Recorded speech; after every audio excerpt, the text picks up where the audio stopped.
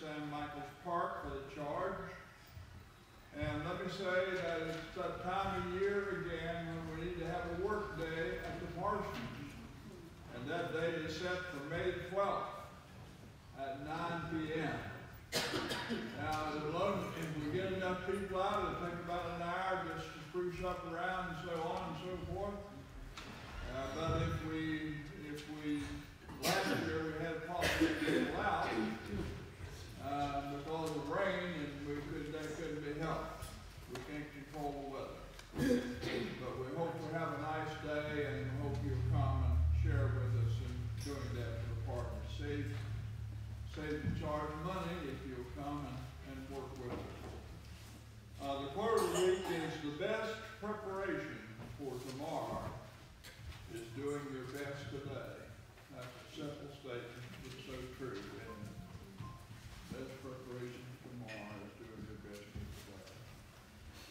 Well, we're here to uh, acknowledge and to support our handle. I don't know about you, but I look forward to today. And we have a special treat again today. Samantha is going to sing for us. She's in preparation for the voice. We're starting her out early.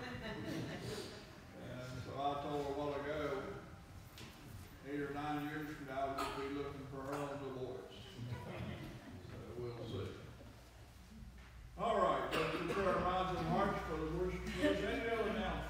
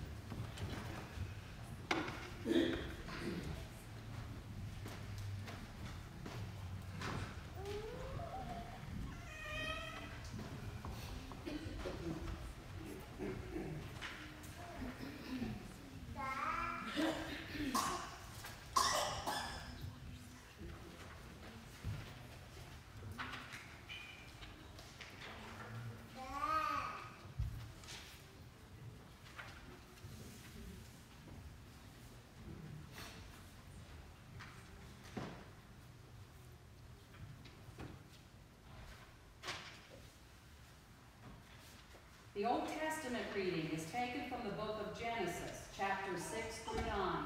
When men began to multiply on the earth, the Lord saw that the wickedness of man was great, and that the earth was corrupt and filled with violence, and it grieved him to his heart.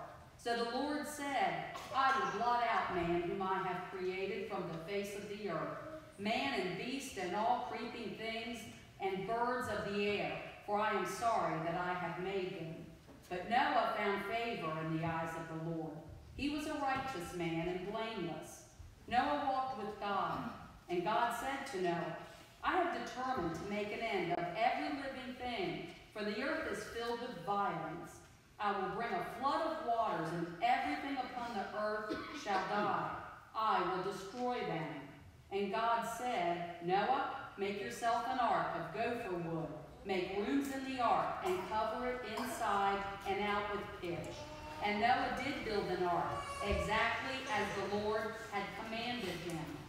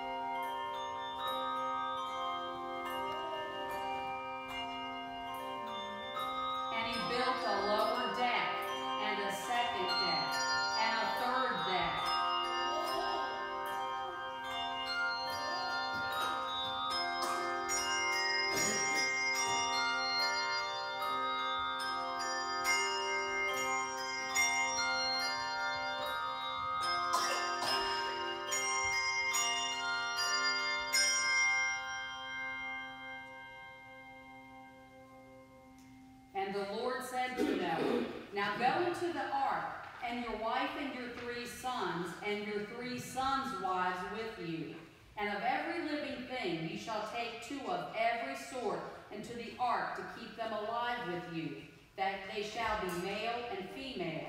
Then Noah and his family went into the ark to escape the waters of the flood.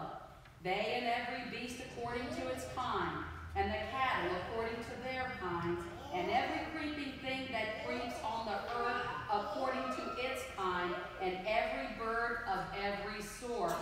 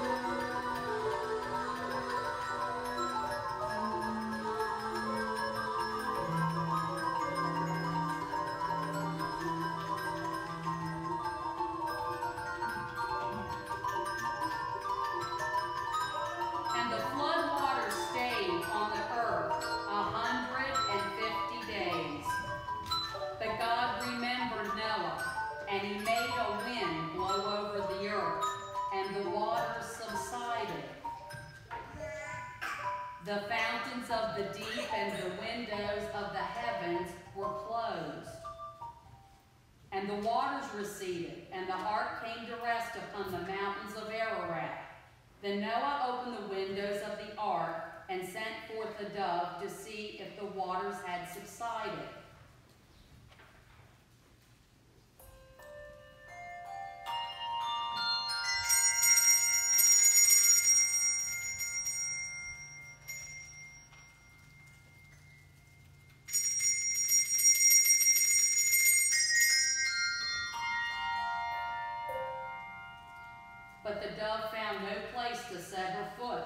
She returned to him in the ark, for the waters were still on the face of the whole earth.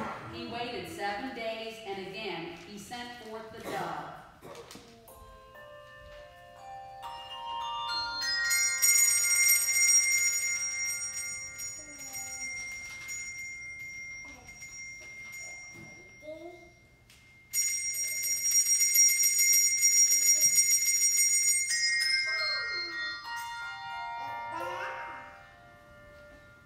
She came back to him in the evening, and in her mouth a freshly plucked olive leaf. So Noah knew the waters had subsided from the earth. Then he waited another seven days and sent forth the dove.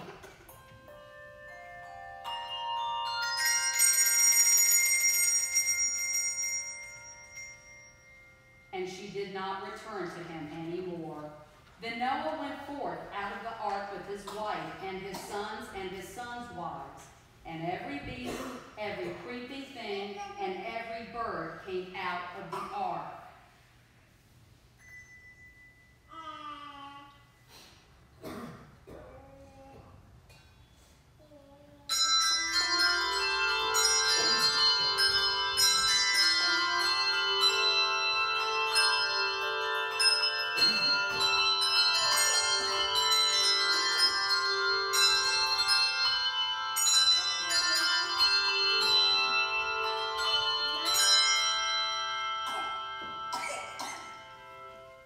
God blessed Noah and his sons and said to them, Be fruitful and multiply, bring forth abundantly upon the earth, and I shall establish my covenant with you, that never again shall there be a flood to destroy the earth, neither will I ever again destroy every living creature as I have done.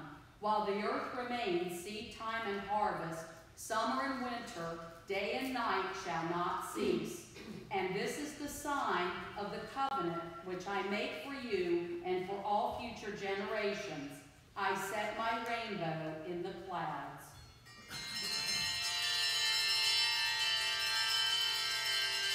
When the rainbow is in the clouds, I will remember my covenant, and the waters shall never